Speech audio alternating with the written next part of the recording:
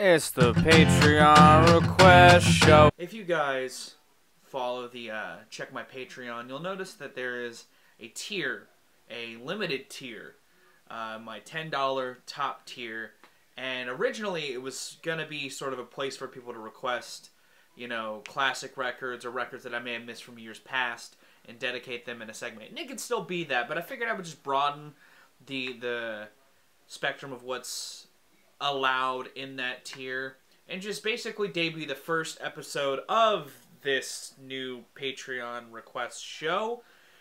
And I only got one patron in that tier right now.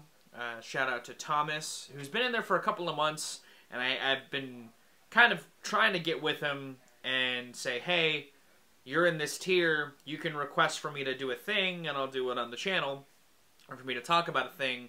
Uh, nothing too broad like the discography of an artist or you know uh, if it's something like a game you know i gotta work with you for like pacing and like timing to get this review out in tandem with everything else i got going on.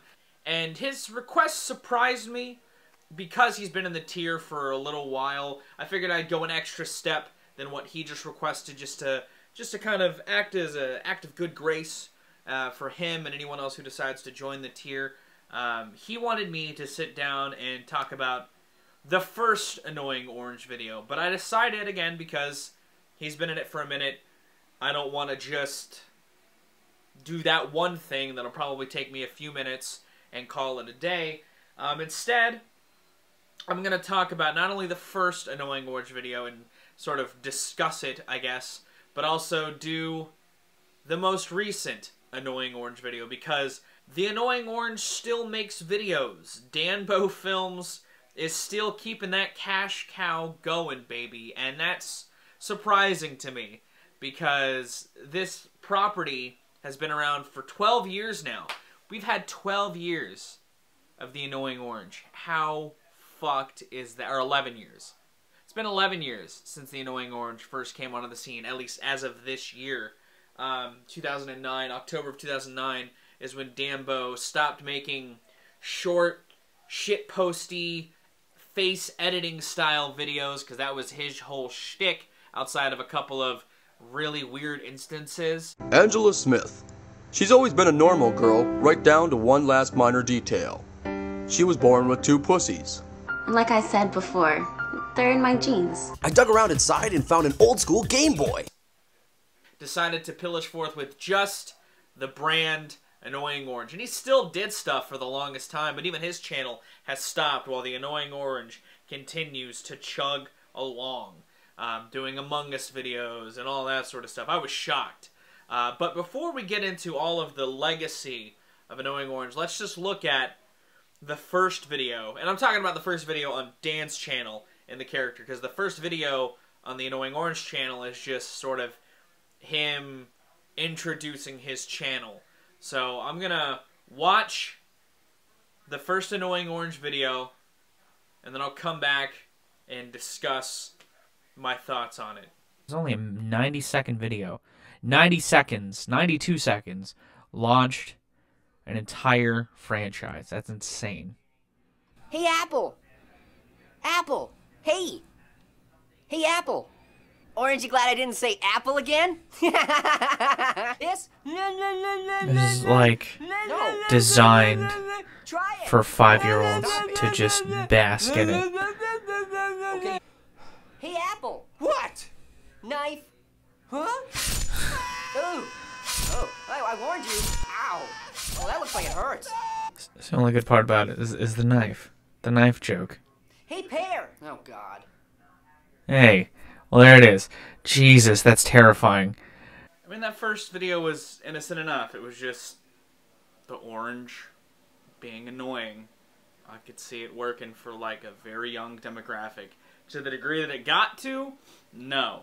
Like to the degree that it got its own channel, its own TV show, video games, it became like legitimately a franchise that you could just see everywhere. No. That video did not lead to that whatsoever, even though like he's just like on 10 all the the whole video. Like he's just from the minute his shrill voice cuts through the speakers, it's pretty annoying. It's aptly named.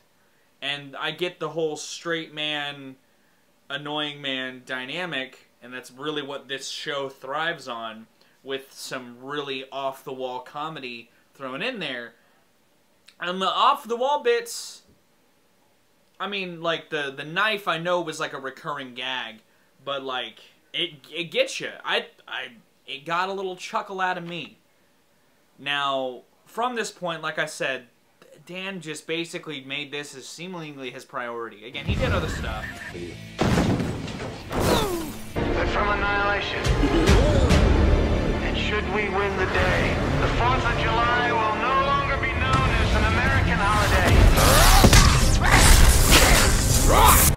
what's up, guys? Dane here once again, back with a gaming video. That's right. I know you guys have been like, "Yo, where you at? where you been at, Dane?" And I've been battling my evil twin, Dane Bro. He wears a backwards hat, so if you see him out in the wild, he's very evil. Don't talk to him. But like the annoying orange was a juggernaut thing. It was everywhere. It had lots of cameos. It was with everybody that was big on YouTube during this era. Probably graced the presence of the annoying orange at one point. And I will date her, beat you up, good and plenty now and later. The channel itself now is kind of strewn to just multitudes of ideas that like everyone else is doing on YouTube. Like, oh, let's make Among Us content. Let's make challenge videos. Okay, there is one rule. Only I get to push the button. He, he might actually do it. The hydraulic press is giving it all it can. Wow! Tough luck! But we'll see how good that comes across when we watch the most recent video, which is like apparently a food challenge centric video. Let's go ahead and watch that. This is 15 minutes long. And at this point, he's got other people. I'll have you know several of my close friends are ghost peppers. But I'm pretty sure he does most of the voices still. Friends who are ghost peppers? I beg your pardon? I'm asking you who. You know to be true about ghost peppers. Go. Oh, okay. They're super uh, hot. One. They hurt your mouth when you eat them. They're very hot, though. I've had ghost pepper sauce before. Steve here is not hot at all. In fact, he's a world-class mathematician. Wow, so what does he taste like? He tastes like a calculator. And Ricky over there, he plays basketball. Let me guess, he tastes like a basketball. No, he tastes like a normal ghost pepper, dude. They're not always related like that. Go ahead. It's a heck of a way to teach a lesson to kids, but it's fruit simple. eating Each of you take the body of peppers. First one to reach for this glass of water loses. Sound good to everybody? They can't reach for it because they don't have arms. Okay. One, two, three, bite! Oh god, the blood splatter. How doing. How much you want to bet none of this is scripted? No one mention Dirk was a plumber? Gross. Vacation. Little Apple wins. Gross. Like the straight man, exaggerated man doesn't work in this like hellscape of. I don't even know if this is like. I mean, I guess the kids would laugh at like the voices, but like, there's so much plot to this.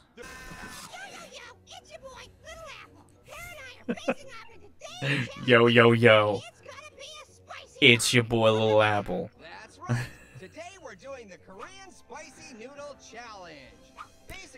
Got a bunch of these spicy ramen packets. Like, this is a concept so many people do on YouTube. I've watched people do some of these challenges, but like, good at this sort of thing. Being able to eat spicy stuff is like your I don't get why I can barely handle mild salsa. Really? put these like. Also, there's no orange. I've noticed. what you're doing here. You're boiling the We're like oh, halfway through this oh, video.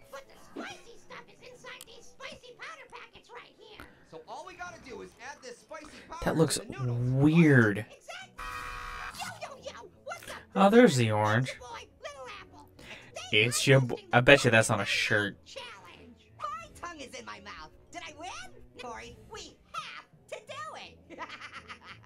That sounded like a dark, like contractual obligation joke. We have to banter. It is absolutely necessary. That animation is just top notch. Long before then. How? Dude, look at me. I don't have a butt. Oh, I forgot. Yeah, I think you're screwed, Corey.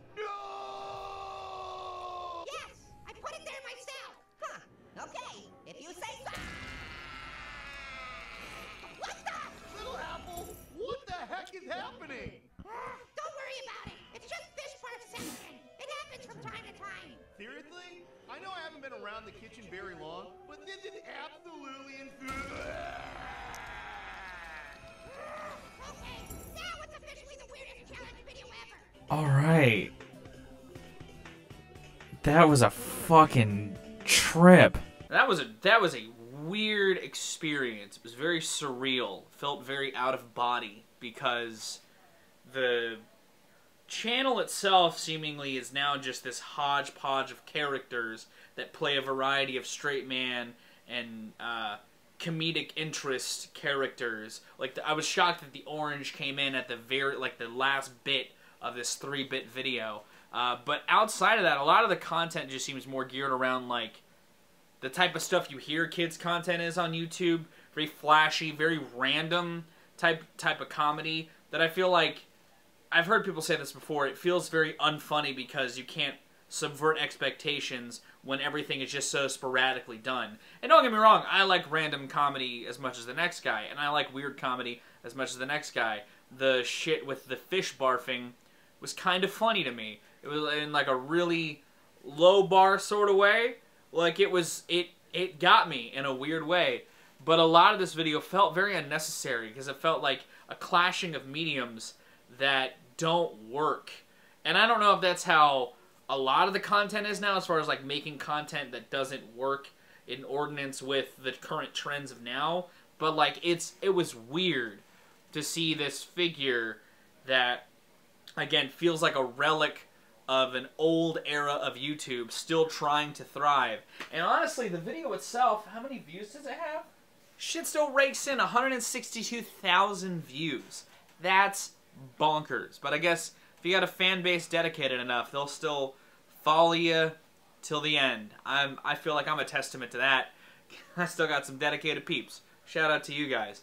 But uh, the annoying orange channel, the state of it now, is just bizarre. And I wasn't expecting it to still be churning out content. It feels like content in the same vein of like I've heard Gus talk about the Mr. Bean channel, but like this is still fresh content that they're making as opposed to like supercut style chopping up footage into its own sort of content for kids. This feels like the lowest grade of stuff you can give to your kids, but it's still being made and fresh. I don't know. This was jarring. This is a weird experience to watch where it's at now, especially after watching where it started. Because again, it started with just these short little videos, and I know that much. They if they had a bit they can make the orange put in, they did, and it just exploded into what it is now. Do I like the annoying orange? No. Do I recommend watching it? No. But I mean, hey, if Daneboe still has a cow to a cash cow to milk, I don't blame him for trying to keep it going to make a buck off of it. To be honest, uh, it's just clearly never was, nor will it be content that's for me. And that's that's this. I don't know what this segment's gonna have. If I get more patrons in this tier, I don't know what they're gonna suggest. But if you want to see me talk about something, just about anything that isn't like again a full discography or anything like that. If there's like an album you want me to try, if there's a meal you want me to try, why not? I'll talk about just about anything for five to ten minutes. Uh, let me know in those comments down below. If you liked this, give it a like. If you want to see more of my music, gaming, and general nerdery content, be sure to subscribe. Special thanks to my other patrons that aren't Thomas. Uh, their tiers also get goodies like exclusive content, early access to stuff, and to help drive the community. So the Patreon in general is linked in the description. But I'm going to get out of here. Thank you so very much for watching, whatever this was. I'm going to go. I've been ViralRak. You guys are good at situations.